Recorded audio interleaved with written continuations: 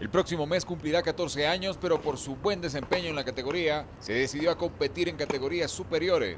Mel Reasco estuvo en el torneo nacional sub-18 que se disputa en las canchas del Quito Tennis y Golf Club como parte de su preparación para los próximos eventos internacionales. El 28 de junio viajo a Europa y son, en, son en cinco países, que es Francia, Holanda, Alemania y Bélgica. Luego viene un mundial también. Eh, sí, que es en República Checa. La Pichinchana actuará en la gira europea de la COSAD antes de competir con Ecuador en el Mundial Juvenil de la República Checa. Eh, sí, mm, creo que allá en el Mundial van las mejores de todo el mundo y eh, hay que dar lo mejor de nosotros allá. Reasco sueña en grande y ya se ha planteado jugar a nivel profesional y levantar el trofeo del Roland Garros.